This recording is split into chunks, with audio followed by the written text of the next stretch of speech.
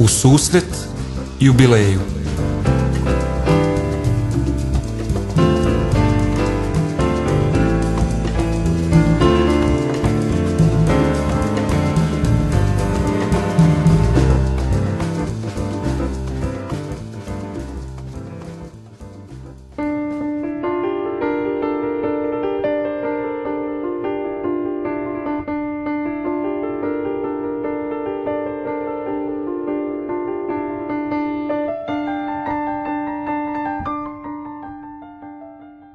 Poštovani slušalci, pomaže Bog.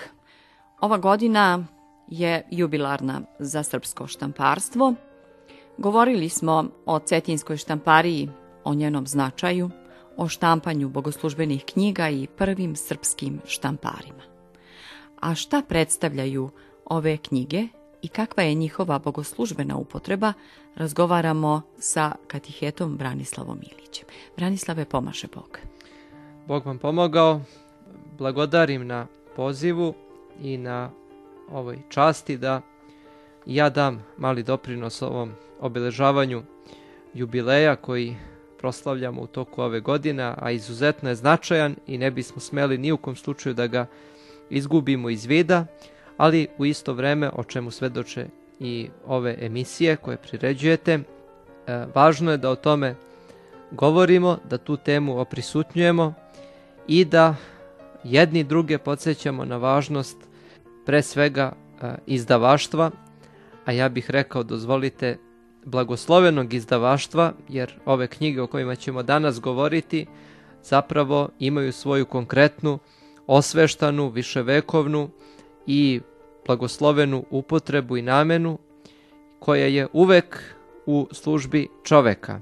Kao što je naš narod izrekao jednu divnu pouku koja je, verujem, svima nama poznata, da je knjiga najveći čovekov prijatelj, tako i ove knjige o kojima ćemo govoriti svedoče da je pisana reč, da je štamparija i ova o kojoj ćemo govoriti, ali i svaka druga, upravo oprisutnjenje značaja knjige u ljudskome životu, a tim pre ove knjige koje imaju bogoslužbenu namenu, pored toga što su najveći čovekov prijatelj, one jesu i prilika da iz njih i kroz njih uznosimo slavu Bogu, da proslavljamo Boga i da kažem da ove knjige svedoče jednu osveštanu nit koja do naših dana biva protegnuta kako bogoslužbenom upotrebom, tako i prisustvom njihovim u eto našem sećanju u duhu ovoga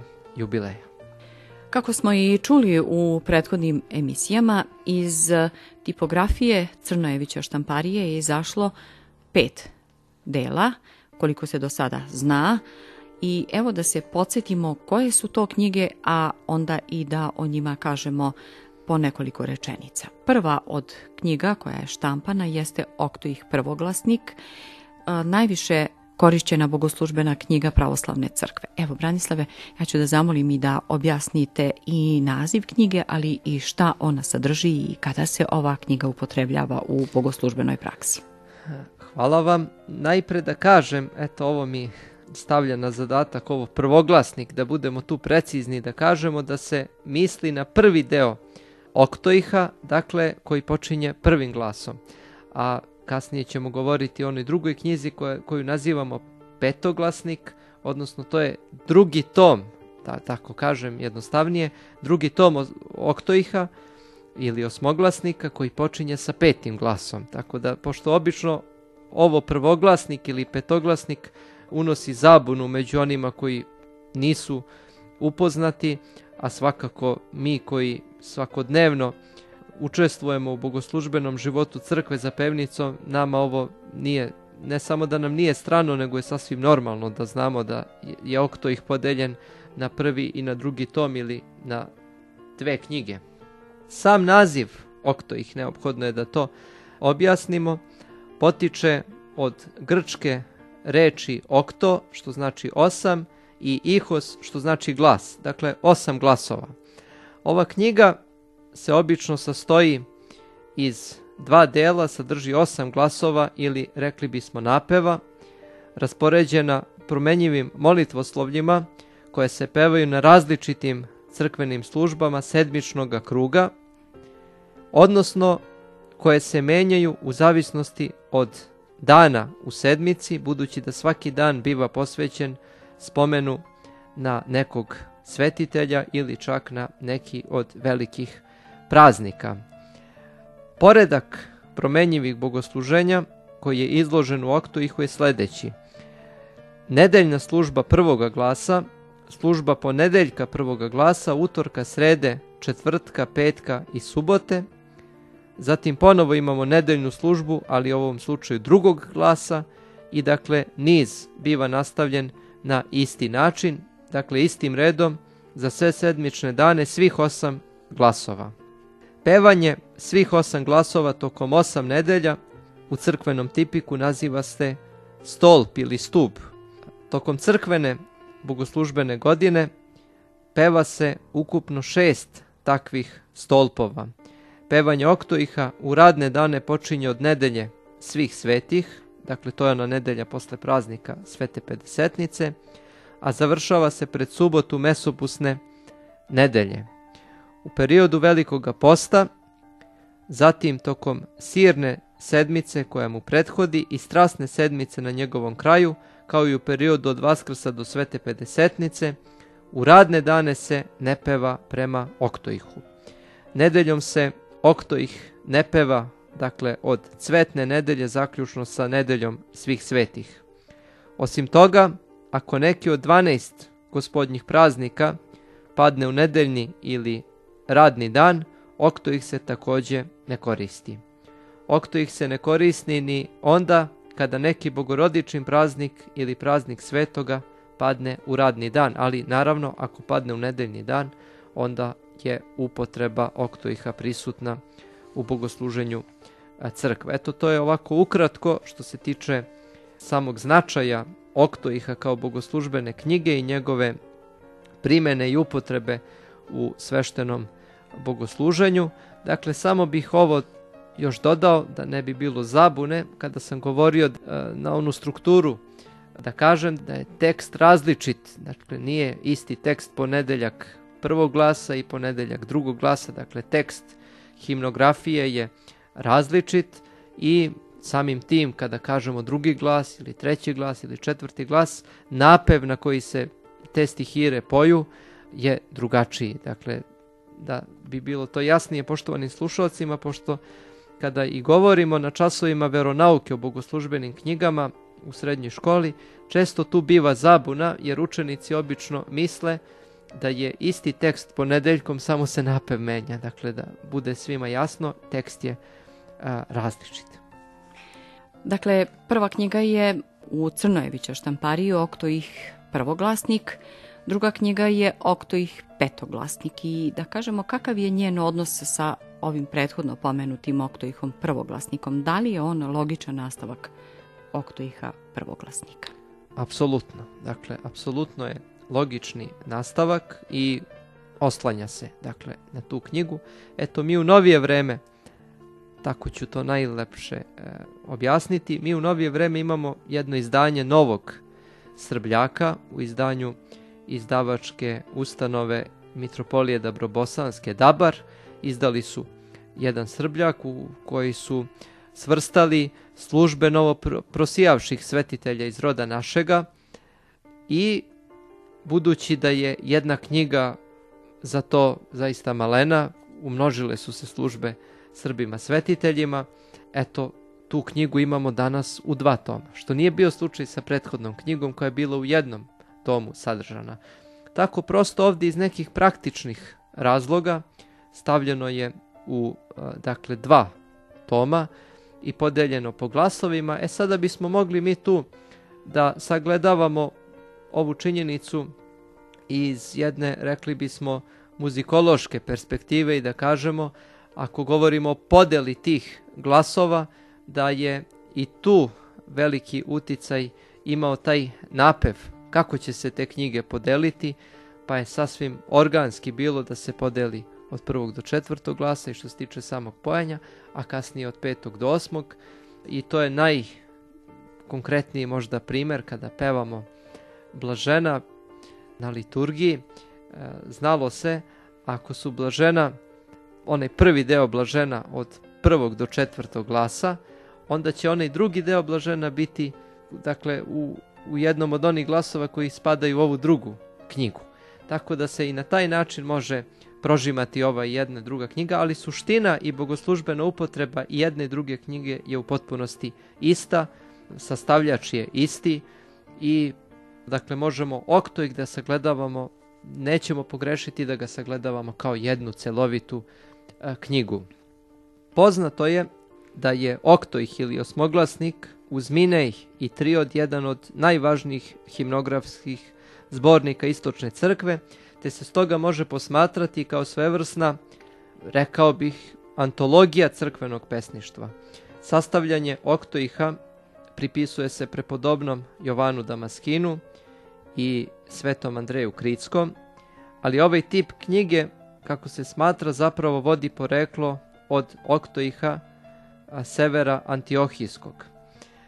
Nesumnjivo je da se za njegovim postankom treba tragati u monaškim zajednicama Palestine, u prvom redu u lavri Svetog Save Osvećenog, u kojoj je živeo i prepodobni Jovan Damaskin.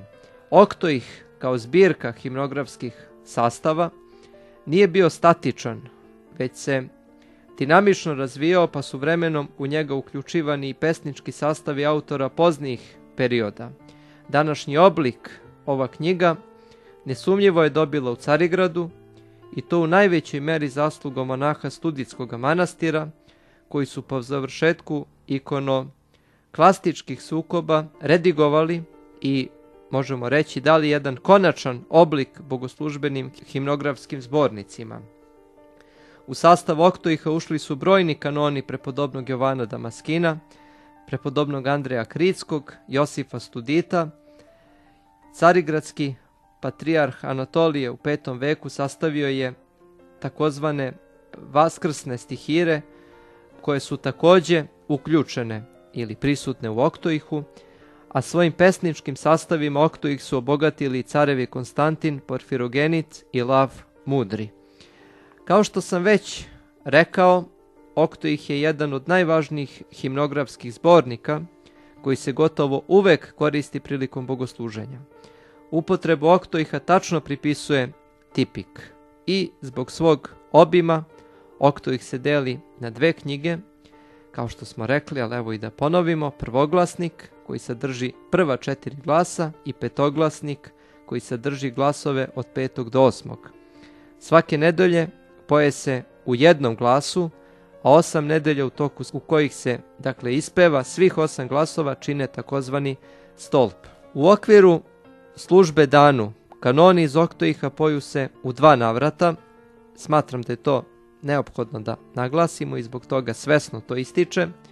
U okviru jutrenja jedan ili dva kanona u zavisnosti od dana u nedelji, dok se na povečerju uvek poje kanon posvećen presvetoj Bogorodici. Kanoni koji se poju Bogorodici na povečerju u subotu, ponedeljak, utorak i sredu označeni su kao molebni kanoni a dnevni ciklus oktoiha je veoma složen, a sastoji se od stihira različitih vrsta i kanona, a sve ove himnografske kompozicije su prateći odredbe tipika raspoređene na jutrenju, večernju i povečernju. Svaki dan u toku sedmice ima svoju posebnu posvetu, da tako kažem, ili određeni spomen i, na primjer, ponedeljak na jutrenju kao drugi poje se kanon posvećen bestelesnim silama, utorak je drugi kanon jutrenja posvećen Svetom Jovanu Krstitelju, u sredu presvetoj Bogorodici, u četvrtak prvi kanon se poje Svetim apostolima, a drugi kanon Svetom Nikolaju, u petak prvi kanon Časnome Krstu, a drugi presvetoj Bogorodici.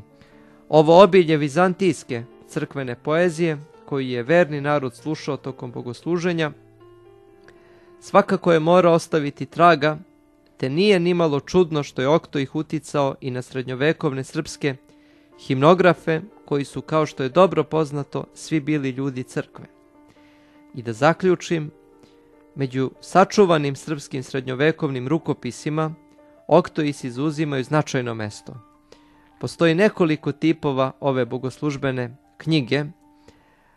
Vaskrsni, koji sadrži samo službe za nedeljne dane, sedmični, paraklitik ili potpuni oktoih, skraćeni i izborni. Svaki od ovih tipova oktoiha imao je svoju namenu, pa se tako vaskrsni oktoih koristio u onim crkvama u kojima se bogosluženje odvijalo samo nedeljom.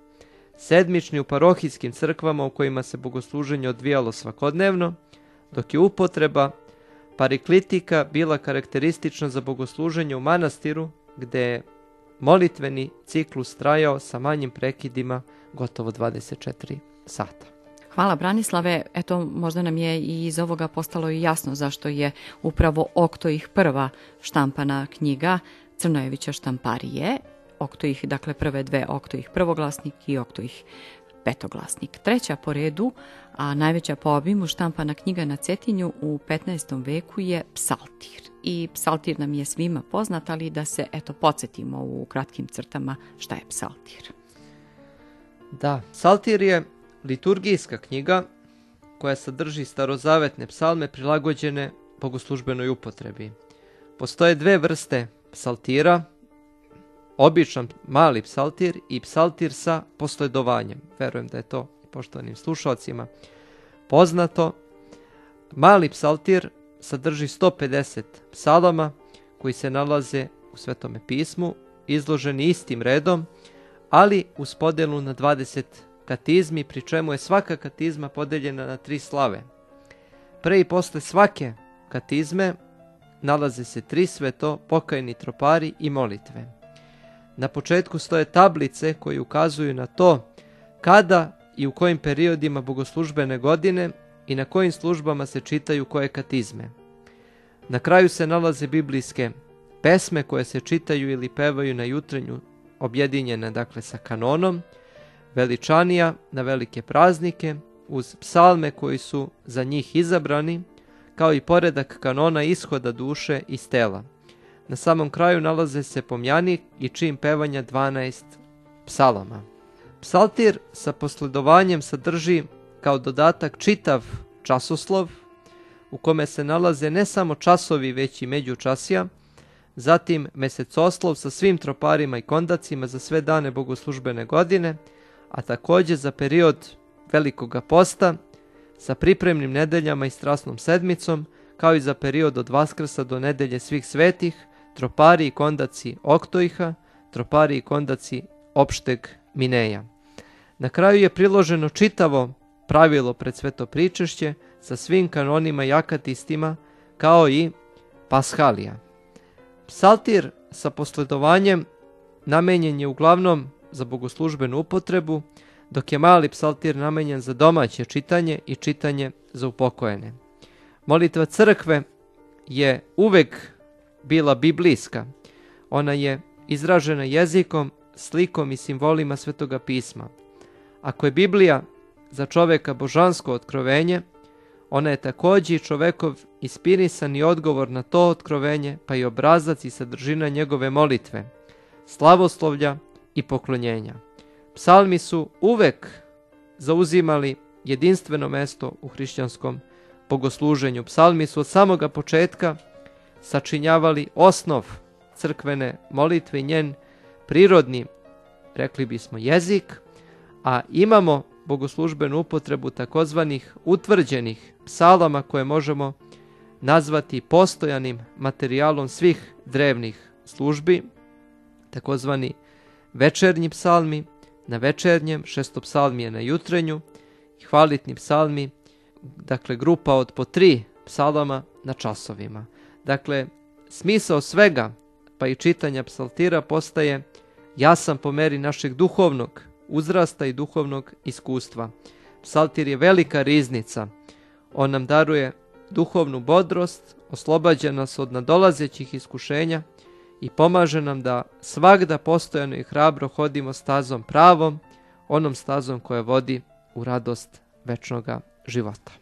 Radio Beseda 91,8 MHz.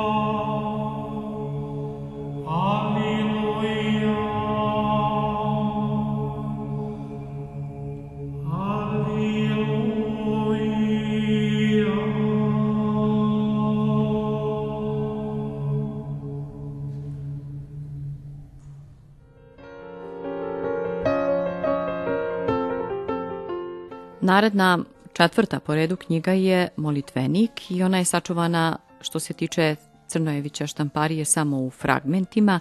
Najpotpunije ona iz manastira Trojice u Pljevljima koji sadrži 184 stranice. Šta je molitvenik i kakva je njegova konkretna namena, a šta je mogao sadržati u 15. veku? Svakako ovde imamo naziv molitvenik, ali trebali bismo da budemo konkretniji i da kažemo da isključivo radi naših poštovanih slušaoca a, i da kažemo da je reč o molitvoslovu ili kako mi to skraćeno kažemo trebniku, jer ovako možemo da zapadnemo u jednu opasnost da pod pojmom molitvenika razumemo onu knjigu koju svi imamo u svojim domovima iz koje obavljamo svakoga dana, dakle svakodnevno, molitvena pravila koja su predviđena za svoju keliju, za svoj dom, dakle ona kelejna molitvena pravila. Dakle, ovde nije reč o takvom jednom molitveniku, već o jednom molitvoslovu ili trebniku ili, ili kako ćemo kasnije objasniti, evhologionu, što je najkonkretniji naziv za ovu knjigu, a, a koja sadrži, evo, već u nastavku čućemo kakav sadržaj. Ova knjiga sadrži izloženje sveštonodejstava i molitvoslovlja kojima crkva osveštava važne trenutke i događaje iz života vernih. U takva sveštonodejstva spadaju pre svega činovi svih svetih tajni, jer one predstavljaju prvu i najneophodniju potrebu svih pravoslavnih hrišćana. Zatim činovi pogrebenja upokojenih, malog i velikog osvećenja vode, postriženja monaha, osvećenja hramova i mnogi drugi koji se tiču različitih potreba hrišćanskog života. Takve sadržine su slovenski molitvoslovi ruske redakcije bogoslužbenih knjiga koje upotrebljava naša pomesna crkva, dok u Grčkoj crkvi trebnik ili molitvoslov sadrži i službe opšteg javnog bogosluženja. Naime, pred trebnikom uvek se štampa i služebnik i takva knjiga zove se Evhologion.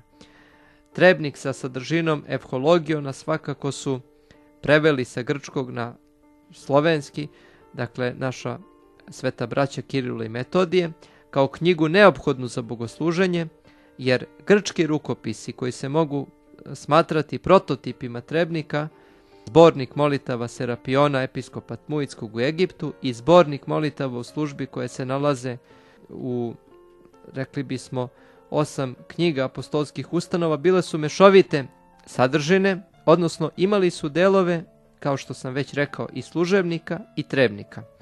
A, I sada ću da pomenem jedan drevni i naj, ujedno najstariji vizantijski efhologijom koji smo mnogo puta ovde pominjali u našem studiju kada smo govorili o konkretnim svetim tajnama i on nam je upravo u tim emisijama bio jedan od najkonkretnijih izvora za razvitak posledovanja određene svete tajne i u pitanju je efhologion vizantijskog liturgijskog tipa, takozvani Barberinski kodeks 336 sa kraja 8.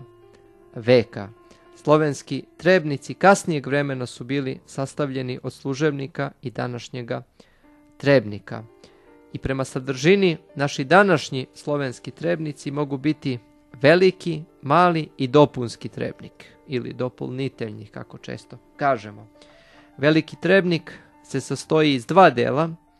Prvi deo sadrži uglavnom poredak svetih tajni i drugih sveštonodejstava koje prate čoveka, to je zanimljivo, dakle od rođenja pa do prelaska u večnost, a drugi deo sadrži uglavnom kratka molitvoslovlja za različite potrebe. Ne bih sada nabrajao, ali kada kažem različite potrebe, verujte mi da tu ima svih onih molitava koje su najneophodnije za jedan ljudski život, pa čak nalazimo i neke molitve, evo da ipak nešto kažem, koje se tiču i a, onih ljudi koji se bave stočarstvom, pa se molimo da gospod sačuva stoku koju narod čuva, da sačuva, dakle imamo i one molitve koje su a, namenjene konkretno nekim ljudima koji se bave poljoprivredi, pa da sačuva poljoprivredna dobra, da gospod podari tihe kiše, zemlji radi plodnosti i tako dalje,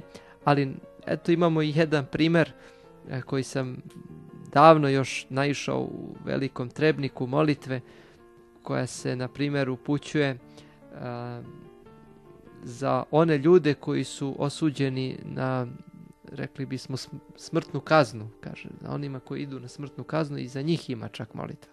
Tako da ako već govorimo o tome, vidite do kakvih pojedinosti ide ta potreba, dakle, da sve te molitve budu sabrane u jedan, rekli bismo, zbornik, kako bi i na taj način zaista delatno potvrdili da je naša crkva, naša brižna majka koja delatno brine o nama u svakoj životnoj okolnosti. Naravno, tu su molitve koje se tiču i našeg telesnog i duhovnog zdravlja, ali i molitva u kojoj se molimo gospodu da blagoslovi svako naše dobro delo i ono molepstvije na početku školske godine i blagodarenje gospodu na kraju školske godine, sve to sadržano dakle u jednom tom, rekli bismo, trebniku ili molitvoslovu.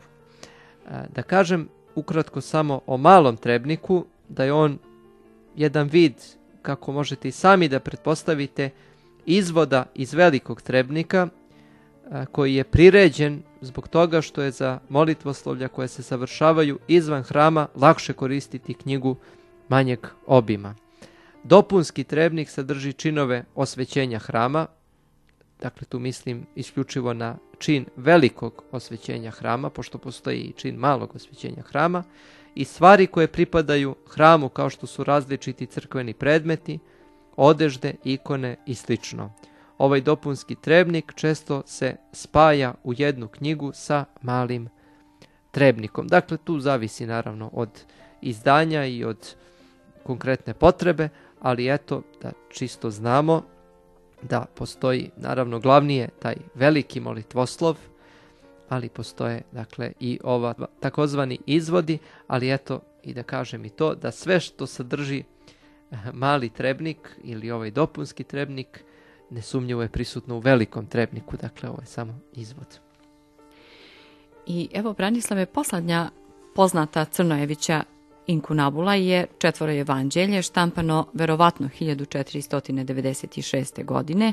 Čuli smo tokom prethodnih emisija da do sada nije pronađen ni jedan primjerak ove knjige i o njemu se saznaje na osnovu podataka da je prepis izvod od formi Crnojević od složenija Makarija urađen 1548. godine u Buđanovcima u Sremu. Šta je četvoro evanđelje? Eto, ja bih napravio samo jedan kratak uvod pre nego što odgovorim, a taj uvod je svakako i organski nastavak vašeg pitanja. Među mnogobrojnim pitanjima pokrenutim u nauci u vezi sa štamparijom Crnojevića najčešća su ona o mestu gde je ona radila, godini njenog osnivanja, kao i broju knjiga koje je objavila. A kada je reč o izdanjima ove štamparije, u literaturi se može uočiti da jedan broj istraživača navodi četiri knjige koje ste vi naveli, okto ih prvoglasnik, okto ih petoglasnik, psaltir i molitvenik, odnosno trebnik, dok drugi smatra da je objavljena i peta četvoro evanđelje, te je u tom duhu dolično da kažemo nekoliko reči i o ovoj knjizi koja takođe ima svoju bogoslužbenu namenu. Evanđelje za bogoslužbenu upotrebu koje obično stoji položeno na časnoj trpezi preko Antiminsa naziva se zato još i prestonim evanđeljem. Ono sadrži blagovest sve četvorice evanđelista, dakle Mateja, Marka, Luke i Jovana i zbog toga se naziva četvoro evanđelje i podeljeno je na glave i crkvena začala, odnosno kako mi volimo često da kažemo, pravilnije perikope.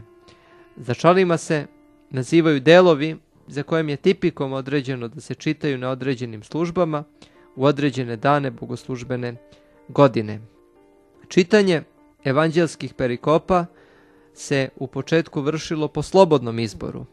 Kasnije su stvoreni sistemi perikopa po izboru ili kontinuitetu. Međutim, čitalo se iz kontinuiranog teksta Evanđelja, na čijim marginama ili pripojenim tablicama su bili navedeni podela i vreme čitanja određenih perikopa.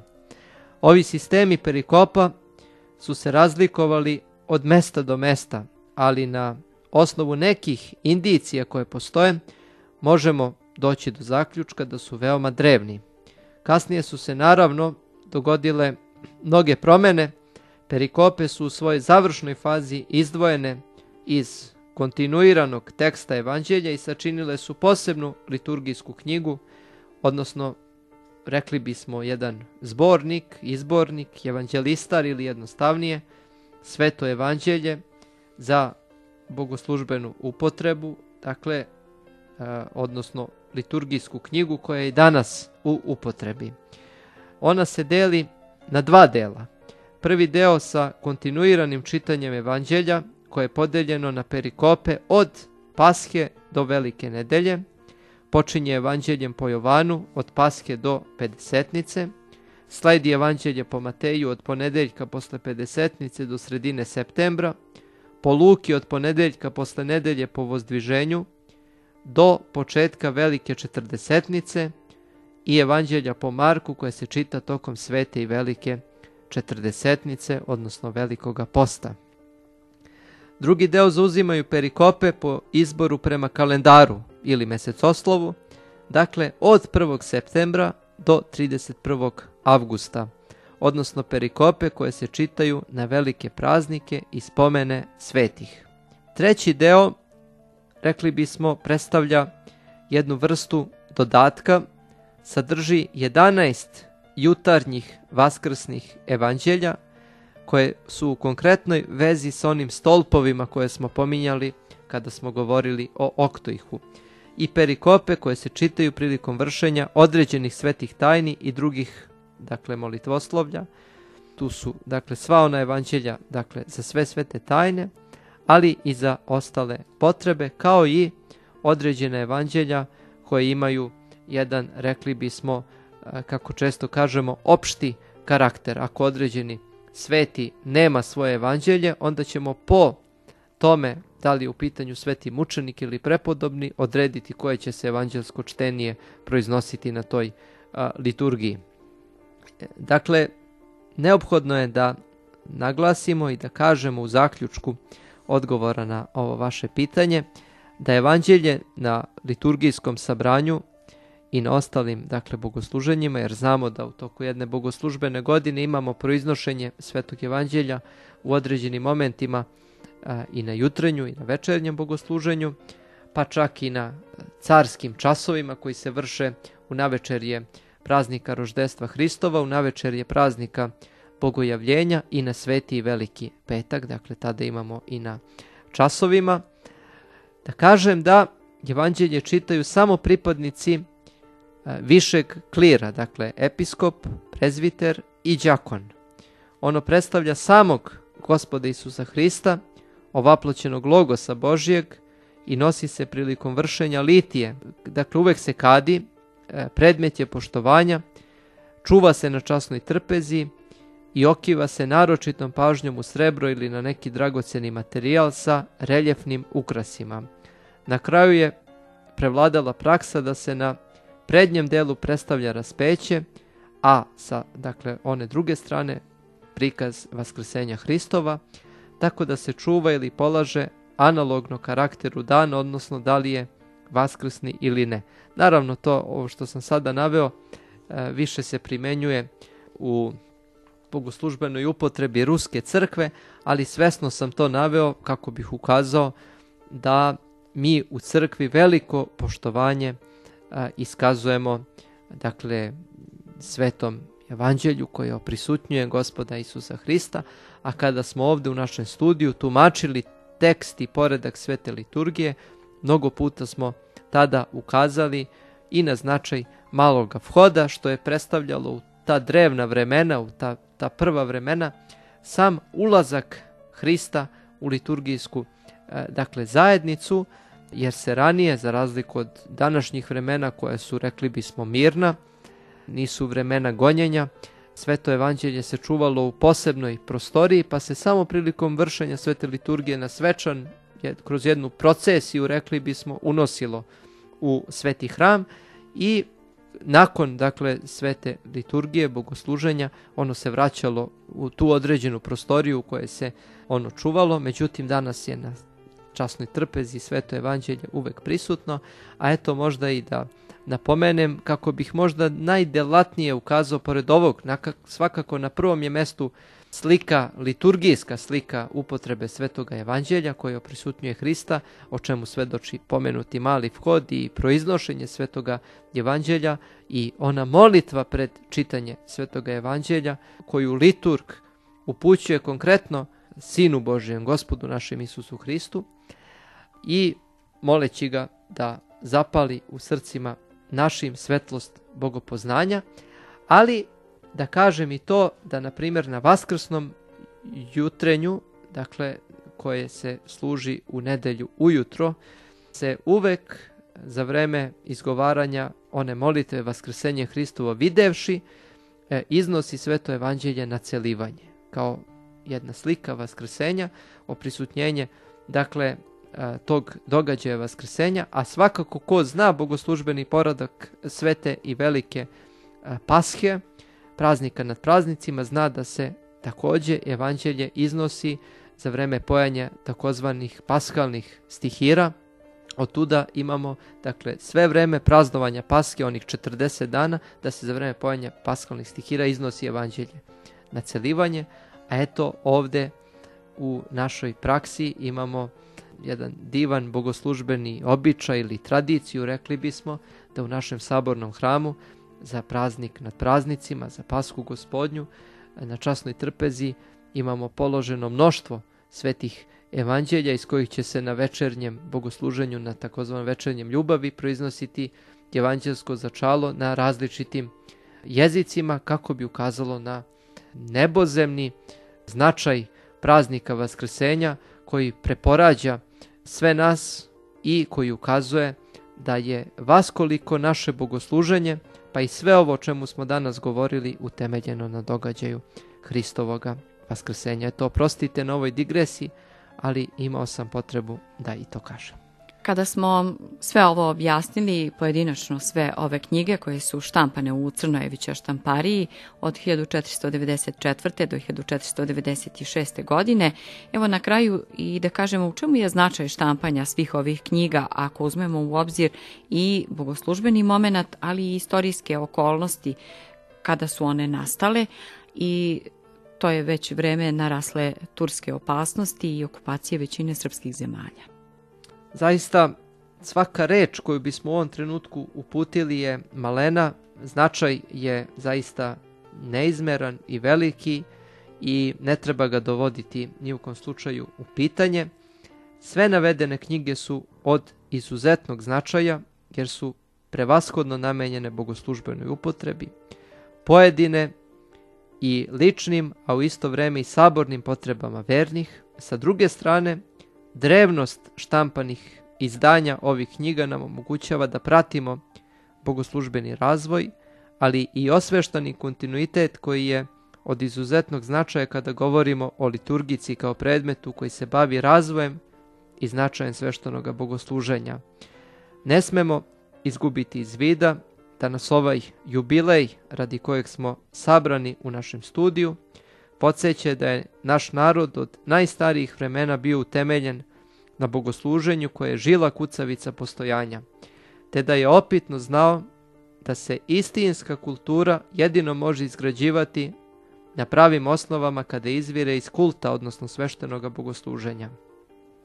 U teškim istorijskim okolnostima ove knjige su nastale i opstale, a i danas nas podsjećaju da je bogosluženje vekovima bilo najveća katiheza kroz koju ulazimo u opitnu i konkretnu zajednicu sa Bogom, svima svetima i jedni sa drugima. I na kraju izrazio bih još jednom blagodarnost na ukazanoj radosti da i ja uzmem učešće u ovom, zaista moram reći, istorijskom ciklusu emisija, kada se opominjemo o značaj ove štamparije, ali i ovih knjiga koje su svagda prisutne u nama i među nama i da eto e, pozovem sve poštovane slušalce našeg radija da možda i u jednom širem kontekstu se na nekom ličnom nivou pozabave značajem i ovih i ostalih bogoslužbenih knjiga, jer bogosluženje kao temelj našeg postojanja jeste e, saborno delo. Neko će reći da su ove knjige iz ovog našeg izlaganja može doći do zaključka da su ove knjige konkretno namenjene sveštenstvu i e, pojicima, međutim, e, to zaista nije tako. Svaki pripadnik crkve je prizvan i pozvan da dublje pronikne u tajnu e, ovih knjiga, ovih tekstova i da zaista, pogotovo oktoiha, dakle da pratimo taj tekst i da čujemo, jer oktoih je jedna velika dragocenost, ne samo zbog pesničke lepote i dubine bogoslovske misli prepodobnog Jovana Damaskina, već i zbog jednog jasnog, preciznog, nedvosmislenog bogoslovlja a, koji je tu konkretno mislim na one dogmatike svih osam glasova koje pevamo u vaskrsne dane. A, tu možemo na najlepši način da spoznamo tajnu, lepotu i suštinu naše vere, ispovedanja naše vere, ali na mnogo primjera u tim stihirama, obično u sjedalnim osmoglasnika Oktojha, možemo da shvatimo koliko je to važno naše učešće u sveštenom bogosluženju, a kao oni koji učestvuju u svetom bogosluženju, mi nikada nismo i ne smemo biti pasivni, već smo uvek aktivni, dovoljno je samo da srce naše kuca ritmom bogosluženja u određenom kontekstu, mi smo već učesnici, ne moramo biti zastupljeni u pevnici ili u nekom drugom segmentu. Branislave, hvala. Bogu hvala, hvala vam.